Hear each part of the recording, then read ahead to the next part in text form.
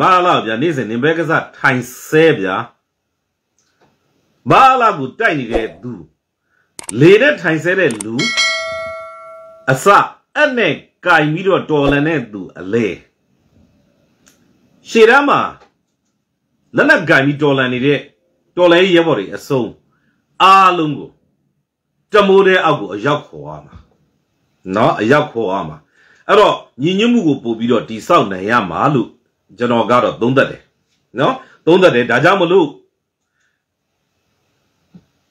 ဘူနဂါရတော်မှာအစိုးရတည့်ရအနေနဲ့သူ့လက်ထဲကနေပြီးတော့လေးရင်ပေးလိုက်တယ်စီမံခန့်ခွဲကိုပေးလိုက်တယ်နော်စီအိုစီအောက်ကိုထားဖို့ပေးလိုက်တဲ့အချိန်မှာကိုဟာကိုပြန်ယူတော့ဆိုပြီးတော့ပြန်ပေးရဆိုပြီးတော့ပြီးထောက်မှတ်ကြီးမပေးနိုင်တော့ဘူးဆိုပြီးတော့လုတ်တဲ့ပုံစံကတော့ညီညွတ်မှုတိဆောက်တာမဟုတ်ဘူးနော်ဒါဒီမဟာဗျူဟာမြောက်အရမ်းမားတယ်တော်လိုင်းကြီးတော်မှာကားမှု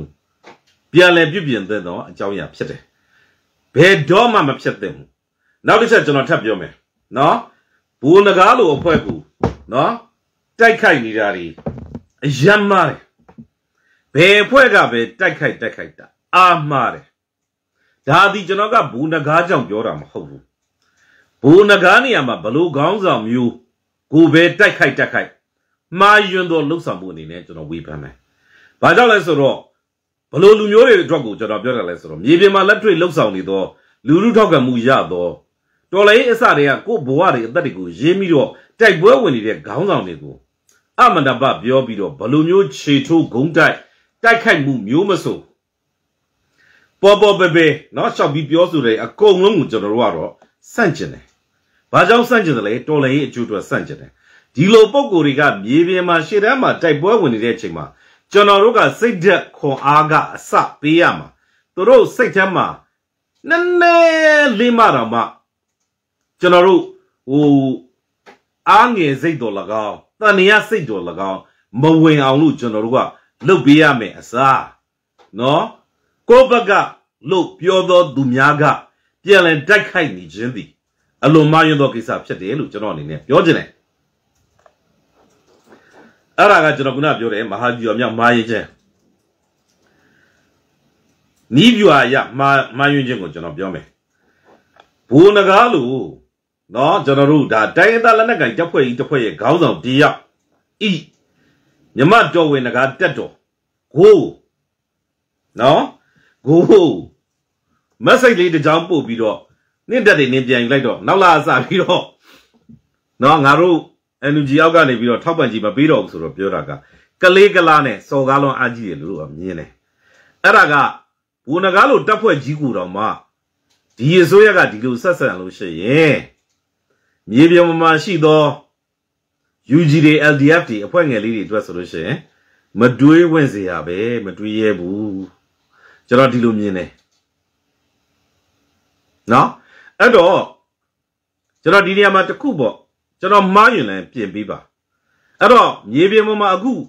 ဒေသဆိုင်ရာကာကွယ်ရေးတပ်ဖွဲ့တွေတော့၎င်း PDF တွေ UG နဲ့တော့၎င်းပုတ်တိုက်မှုအများဆုံးဖြစ်တာသည်ပကဖလို့ကျွန်တော်တို့သုံးသပ်မိတယ်အဲ့တော့ပကဖလို့ပြောလို့ရှိရင်လူတော်တော်များများကဘဒုရှိကိုသွားပြီးတော့ခေါင်းဆောင်လေးရှိလဲဆိုတော့ဥယျာဉ်မုံဥယျာဉ်မုံကာကွယ်ရေးဝန်ကြီးဆိုပြီးတော့သွားပြီးတော့ခေါင်းဆောင်လေးရှိတယ်နော်ဆိုတော့ဥယျာဉ်မုံနဲ့ကျွန်တော်လည်းဘာမှမတော်ဘူးဘလို့မှလည်းမပတ်သက်ဘူး ဒါကကျွန်တော်ကြိုပြီးတော့တင်ပြထားတာသို့တော့ကျွန်တော်နားလည်ထားသလောက်ကပကဖကစီမံခန့်ခွဲတာကိုလွင်ကိုလက်လို့တော့ကျွန်တော်နားလည်ထားတယ်နော်ဆိုတော့ဟိုတကယ်လို့ကျွန်တော်လွဲမတဲ့ဟာကိုဟိုရှိရင်တရင်ချက်လာမှရင်ကျွန်တော်ပြန်ပြောနော်ကျွန်တော်သိသလောက်ဆိုပကဖကိုစီမံခန့်ခွဲတာကကိုလွင်ကိုလက်လို့သိရတယ်နော်ကျွန်တော်လည်းဒီလိုမျိုးညီပြရဲဘော်တွေလာပြောတာနောက်ခါကျတော့ အဲ့လိုမျိုးပေါ့စာရီဖတ်ကြည့်တဲ့အခါမှာအဲ့လိုမျိုးသိရတယ်အဲ့တော့ပကဖဤစီမံခန့်ခွဲမှုသည်ကိုလွင်ကိုလက်ဖြစ်တယ်ဆိုတော့ပကဖလည်းလက်နက်ကင်ထားတယ်အဲ့တော့ဖြစ်ချင်တော့ဘယ်လိုဖြစ်လဲဆိုတော့ရေမှာရှိတဲ့ဒေသဆိုင်ရာကာကွယ်ရေးတပ်ဖွဲ့တွေနဲ့ပုတ်တိုက်မှုဖြစ်တာသည်ကိုလွင်ကိုလက်စီမံခန့်ခွဲတဲ့ပကဖအများစုဖြစ်နေတယ်အဲ့ဒါကိုကျွန်တော်သွားတွေ့အဲ့တော့ကျွန်တော်တို့ကဟိုနည်းနည်းပေါ့ဗျာကျွန်တော်ဒီလိုပါ ကိုလွင်ကိုလက်နဲ့ကျွန်တော်နဲ့လူချင်းလည်းမသိပါဘူးဘလို့မှလည်းမပတ်သက်ပါဘူးတော့ရီးစားလူပဲလည်းတခါမှမဖြစ်ခဲ့ဘူးပါဘာလို့ကျွန်တော်အများကြီးငယ်တယ်နော်ကျွန်တော်ကဘာကျွန်တော်ပြောချင်တဲ့ကရှင်းရှင်းလင်းလင်းပြောချင်တာကကျွန်တော်တို့မှာ personal ဘာတစ်ခုမှကျွန်တော်ဘက်ကမရှိဘူးဆိုတာကိုကျွန်တော်ပြောချင်တာဆရာမဒေါ် September ပွဲတွေရမ်းများနေစားဘယ်ပွဲတွေလဲမသိကျွန်တော်ပြောပြကျွန်တော်လင်းပြအောင် နော်ဆရာနူးစာနေတော့ကျွန်တော်ကျွန်တော်မမနဲ့ကျွန်တော်ကြားအောင်ပဲကြားတာကျွန်တော်တကယ်ဟုတ်လားမဟုတ်လားကျွန်တော်မသိဘူးနော်ကျွန်တော်ပြောချင်တာကဒီလိုဟိုဘက်ကဘက်ကိုစီမံခန့်ခွဲတာကကိုလွင်ကိုလက်လို့ကျွန်တော်တို့ကြားရတယ်ဥယျာဉ်မော်မဟုတ်ဘူးနဲ့တူတယ်ဗျအဲ့တော့ကဘယ်လိုဖြစ်လဲဆိုတော့လက်လက်ကြိုက်တိုက်ဟိုတပ်ဖွဲ့နှစ်ခုကြားထဲမှာနည်းနည်းပွတ်တိုက်မှုပုံစံမျိုးပုံစံမျိုးဖြစ်သလားပေါ့နော်ကျွန်တော်စဉ်းစားတာ ဘာကြောင့်လဲဆိုတော့ဟိုဒီဘက်ကဒီဘက်ကကျွန်တော်တို့ဒီ PDF တွေကိုကြိုင်နာကကြိုင်နာကကြတော့ဥယျာဉ်မလို့တော့ကျွန်တော်နားလေတယ်ခုနကပကဖတွေကိုကြိုင်နာကကိုလွင်ကိုလက်လို့ကျွန်တော်နားလေတယ်အဲ့ဒီအပေါ်မှာကတော့ကျွန်တော်တို့ဟို CRPH ရှိမလားမသိဘူးဒါမှမဟုတ် NLD ရှိမလားမသိဘူးကျွန်တော်ဒါတော့မသိဘူး ဒါပေမဲ့ရေးရေးလေးတော့မြင်ရတယ်ပေါ့နော်မှန်ကြည့်တော့ထင်ရတယ်ပေါ့နော်ဆိုတော့အဲ့လိုပြောတော့မြင်ရတယ်ဘာကြောင့်လဲဆိုတော့ကပကပခေါင်းဆောင်နေသည်ပအဖခေါင်းဆောင်နေသည်ဟို NLD လွတ်တော်ကိုယ်စားလှယ်တွေဖြစ်နေကြတာများတယ်ဆိုတော့အဲ့ဒီပုံမှာမူတည်ပြီးတော့ပဲကျွန်တော်တို့လည်းသုံးသက်ကြည့်ရတာပေါ့လေနော်ဆိုတော့ကအဲ့ဒီပုံမှာပုတ်တက်မှုဖြစ်တယ်ပုတ်တိုက်မှုဖြစ်တယ်လို့ကျွန်တော်တို့မြင်ရတယ်ဆိုတော့ဒါကိုကျွန်တော်တို့အချိန်မီကောင်းမွန်အောင် ပြန်ပြီးတော့ပြုပြင်နိုင်ဖို့လိုမယ်ထင်တယ်ဗျနော်လိုမယ်ထင်တယ်ဗျနော်လိုမယ်ထင်တယ်လိုမယ်ထင်တယ်နော်ဘာကြောင့်လဲဆိုတော့အခုကနောက်ဆုံးကြတော့ပကပကြောင့်ပြဿနာတော်တော်များများဖြစ်နေကြတယ်လीနော်အဲ့ဒါကိုကျွန်တော်တို့တွေ့နေရတယ်အဲ့တော့ခုနစကားကိုကျွန်တော်တို့ပြန်ဆက်ရမယ်ဆိုလို့ရှိရင်အခုလောလောဆယ်ကဘာကိုကျွန်တော်တို့ကမြင်ရလဲဆိုတော့ energy အစိုးရကအုပ်ချုပ်ရေးနဲ့စစ်ရေးကိုခွဲခြားဖို့စီးပွားရေးနဲ့စစ်ရေးကိုခွဲခြားဖို့ ကျွန်တော်တို့လုပ်တဲ့ပုံစံမျိုးတွေကျွန်တော်တို့တွေ့ရတယ်နော်ဆိုတော့ဟိုတွေ့ရတယ်ပေါ့ဆိုတော့တကယ်တကယ်ကြတော့ကျွန်တော်တို့ကမြင်ရတာကဒီလိုမျိုးအရေးတော်ပုံကာလကြီးတွေနော်ကျွန်တော်တို့တကယ်ကိုတိုင်းပြည်ကတကယ်ကိုအရေးကြီးနေတဲ့ကာလဆိုလို့ရှိရင်ကျွန်တော်တို့မြင်မှုခဲ့ကြတာကတော့ဟိုအနည်းဆက်ဆုံးဆိုရင်တော့ဒီယူကရိန်းပေါ့ဗျာနော်ကျွန်တော်တို့ဒါကဟိုမာရှယ်လောနဲ့သွားတာကိုကျွန်တော်တို့တွေ့ရတယ်နော်ဆိုတော့ဟိုအကုန်လုံးပေါ့ဗျာ ပြက်ပြက်သားသားပေါ့နော်စစ်ကောင်းဆောင်တွေကကင်ပြီးတော့အဲ့လိုမျိုးသွားတဲ့ပုံစံမျိုးပေါ့ဗျာနော်အဲ့လိုမျိုးသွားတာတွေ့ရတယ်အဲ့တော့တကယ်တကယ်တကယ်ကြတော့ဖြစ်တဲ့နာကကျွန်တော်တို့အခုဗမာဒေသကပေါ်လာတဲ့သခိုင်းကအဖွဲ့တွေဘာတွေဆိုလို့ရှိရင်လေကျွန်တော်တို့ကဟိုအရန်ကြီးဟိုတခြားတိုင်းသားလက်နက်ကိုင်အဖွဲ့ကြီးတွေလို့ဥပမာဆို KIA တို့နော် KNO တို့ KNU တို့ KNL တို့လို့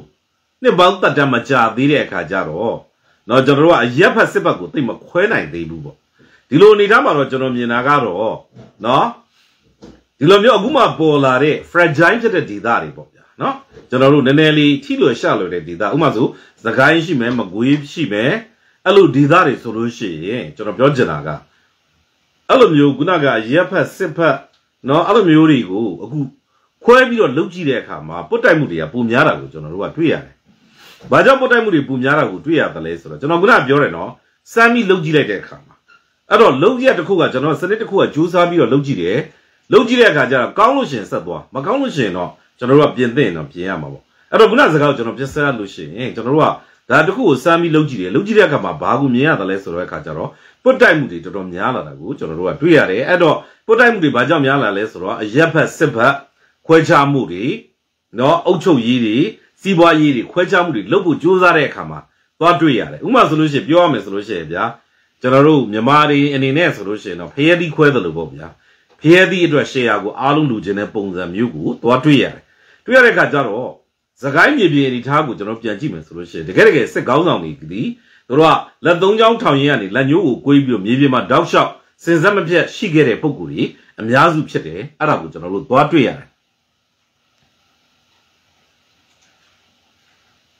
နော်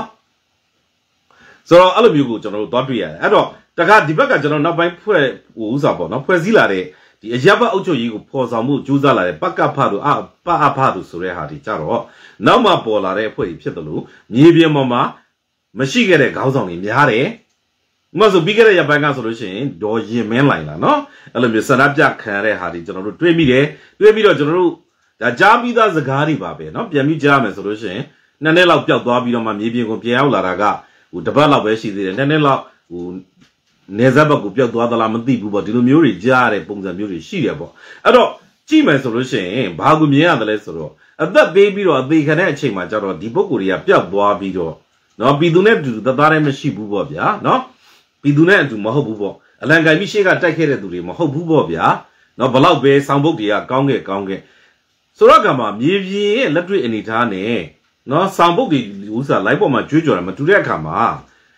တူတူတူကိုကိုစဉ်းစားကြည့်လေကိုဆိုလဲသူ့နေရာမှာဆိုလို့ရှိရင်ငါတို့ကအသေးခံပြီးတိုက်တယ်နည်းနည်းလေးအခုမှဖျဲသီးလေးစပြီးတော့စားမလို့ပဲရှိသေးတယ်ချက်ချင်းရှယ်ယာတွေလာခွဲကြတယ်ဆိုတဲ့ပုံစံမျိုးအပြင်ကိုအဲ့တဲ့ဆိုတာကချက်ချင်းပဲငါကတော့ရွေးကောက်ခံဆိုပြီးတော့မိုးကြရွှေကိုလှုပ်လာတဲ့အပေါ်မှာ မကျေနပ်မှုတွေကဖြစ်မယ်အဲ့မှာဘာကိုသွားတွေ့ရလဲဆိုတော့မိုးကြရွှေကိုတွေရဲ့မိုက်မဲမှုကိုလည်းကျွန်တော်သွားတွေ့ရတယ်ပေါ့ဗျာနော်တကယ်လို့ပေါ့ဗျာဟိုနည်းနည်းပေါ့စဉ်းစားတတ်တဲ့အသိဉာဏ်အုံနောက်ရှိမယ်ဆိုလို့ရှိရင်အော်ငါတို့ကတော့ဟိုနှစ်နှစ်လောက်ကြောက်လို့ထွက်ပြေးခဲ့ပြီးအခုမှပြန်ပြီးတော့သွားပြီးတော့အဲ့နေရာမှာမျက်နှာသွားပြရှက်ဖို့ကောင်းလိုက်တာဆိုပြီးတော့ဖြစ်ရမယ်စားပေါ့။အော်ငါတို့ကိုနည်းနည်းပေါ့ဒီလိုပျောက်သွားတဲ့ဟာတွေလူတွေကမသိအောင်ပေါ့နော်။ငါတို့မဆန့်ကျင်အောင်ဆန္ဒမပြအောင်ငါတို့တို့ချိုချိုတသားလေးစီးတကြားလေးခတ်ပြီးတော့ဆက်ဆံမယ်ပေါ့။ တကြားလေးကျွေးမယ်ပေါ့။ပြားရည်လေးနဲ့ဝမ်းချမယ်ပေါ့နော်။ဒီလိုပုံစံမျိုးလေးစဉ်းစားတတ်လို့ရှိရင်လေ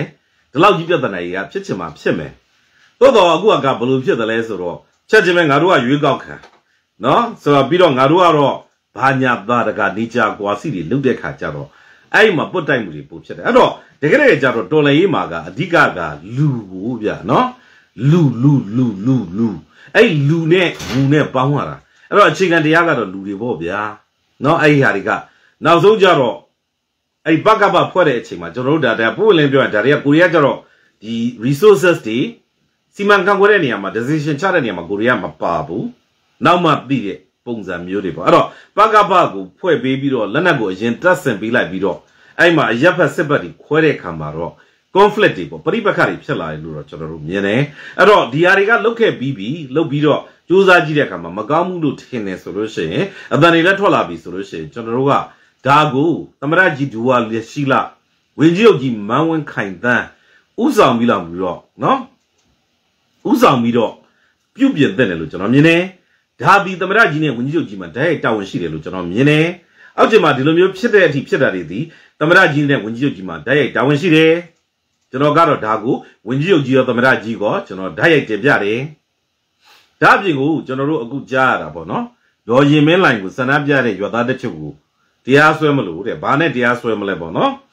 ။ကျွန်တော်လည်းအဲ့ဒါတွေကိုရည်ကျင်တယ်ဗျ။နော်ရည်ကျင်တယ်။အဲ့တော့ကျွန်တော်ဖတ်လိုက်တဲ့သတင်းတချို့အရဆိုရင်2008ခြေဦးကိုအခြေခံပြီးဆွဲမယ်ဆိုလားယေရှုစင်နဲ့ဆွဲမယ်ဆိုလားကျွန်တော်တို့ကြားတယ်2008ခြေဦးကြီးကရှိမှမရှိတော့ဘယ်လိုလုပ်ဆွဲမလဲ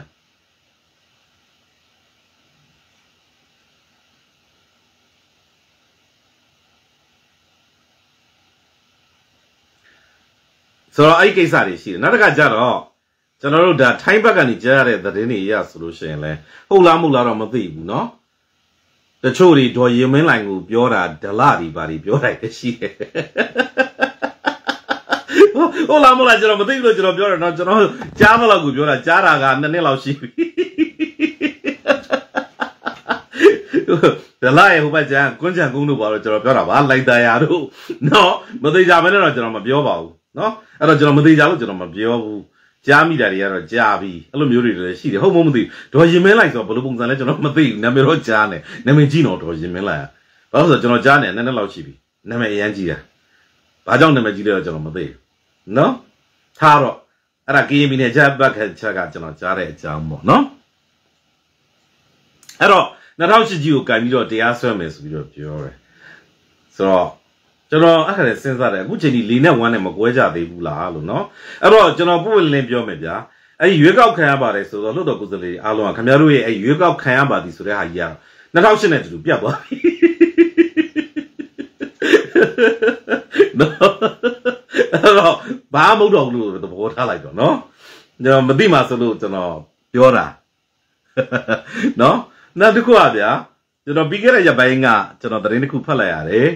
NGO အစိုးရတရားရေးဝန်ကြီးဌာနကနေပြီးတော့မြန်မာပြည်အဝမ်းမှာတရားရုံးပေါက်ဘယ်လောက်